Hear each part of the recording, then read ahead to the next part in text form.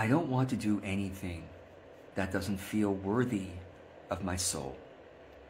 I think this is where a lot of us um, avoid doing business activities, particularly marketing.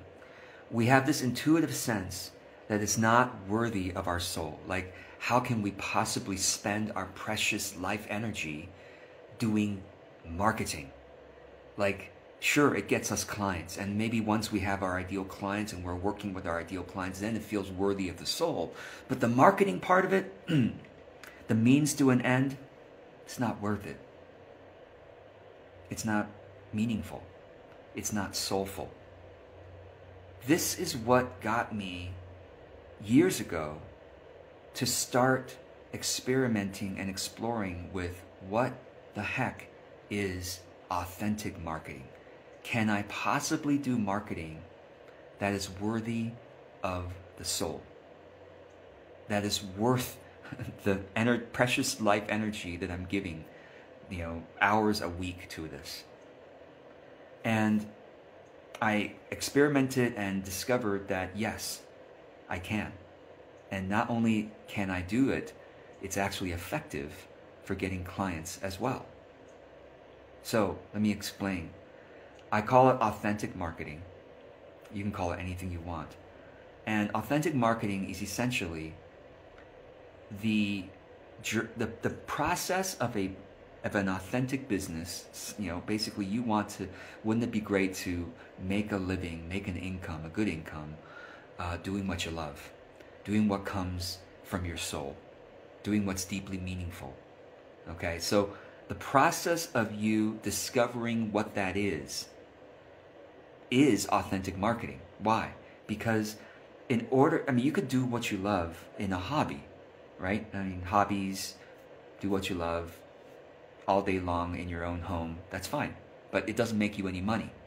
To make money means other people have to be willing to give you money, right? Because otherwise you don't have any money. Other people have to be willing to give you money. And other people, their willingness to give you money is marketing, is the, the, the process of discovering what they want to give you money for and then having them give you money is marketing, is marketing. But then authentic marketing is the process of you exp- exploring and, and expressing your energy signature and noticing of all your authentic expressions what makes money. That's authentic marketing. It's grounded in this idea of energy signature. And what I mean by that is all of your ways of expressing yourself, how your face looks if you're on video, how your voice sounds uh, if you're on video or podcast, how your words are formed, your ideas, how they come out um, whether you're writing or making video or recording a podcast or writing a sales page. All of that is your authentic energy signature. If you aren't just following some copywriter or following someone's formula, but you are genuinely exploring your grounded truth, that's your energy signature. How you express that, especially when you have done some self care and you feel well being, and then now you're expressing yourself authentically, that's your energy signature. However it comes out in writing, even the font type you choose, the colors you happen to really love and decide to choose on your website, not because of someone told you you need to have these colors, but you genuinely love them. Okay? That's your energy signature. Even your name is part of your energy signature. Have you ever encountered someone whose name you just like? right? I don't know. Maybe they remind you of someone you you uh, you used to be friends with, or remind you of someone you really admire. Whatever. Even your name is part of your energy signature, and so your your you know some people call it personal brand, and I think personal brand is fine, but I it's kind of businessy. I like to use the term energy signature because it suggests that it's radiating from your soulfulness, and it is. That's the point your willingness to experiment and express your soul publicly is your energy signature. But here's the thing most people aren't willing. And that's where you have the opportunity. Most people are scared to share themselves authentically publicly. I understand. It can be embarrassing. It's vulnerable. You can sometimes get mean comments that will discourage you, make you want to crawl into a ball and cry or go get therapy. It's vulnerable. It takes courage, heart energy to be willing to experiment with what authentic expression is for you publicly. And also, by the way, energy signature, right?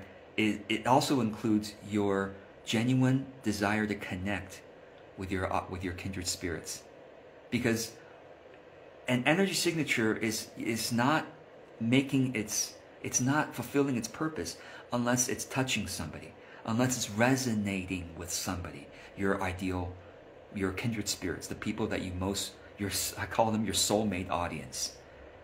Okay? So your willingness to express, experiment and express your public authenticity, therefore to explore your energy signature, is what makes you really powerful. And it's what makes your marketing, so called, stand out above everyone else's around you. Not that you're better than them, but that you're truly unique and nobody can replace you. So go for it. It's your it's your day. It's your opportunity today to experiment with something publicly. It has to be public, otherwise the energy signature is not doing that's not fulfilling its purpose. You're pinging out there, but no one is receiving your ping. No one's even noticing your ping. No one's no one even knows that you you no one has the opportunity to receive your energy signature, then it's not it's not fulfilled. Go out today on video, on writing, in your podcast, in your images, on your website, whatever, or just through your one on one connection with people. Go out today and really experiment with expressing your authentic caring, your grounded truth, and see how it goes. It's going to take a lot of experimentations to feel into this is real and true for me, and it also resonates with them. So I hope this is helpful.